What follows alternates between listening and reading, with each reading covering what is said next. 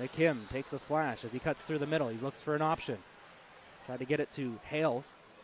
Plays it off the boards to himself, and now Gray. Ooh, close play at the line there. Almost came out as McKim has it. Tries to pass it for Hayles. He oh. scores! Eagles lead! Riley Hayles on the power play. It's 3 to 2.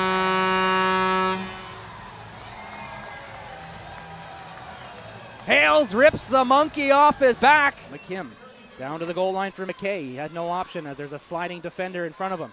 He's out waiting him as McKim, or excuse me, McKay had his pass roll off his stick. A minute left in the third period. Eagles on the power play. Hayles had a goal a moment ago. Played to the middle. It's loose. What a stop! And they score! They score!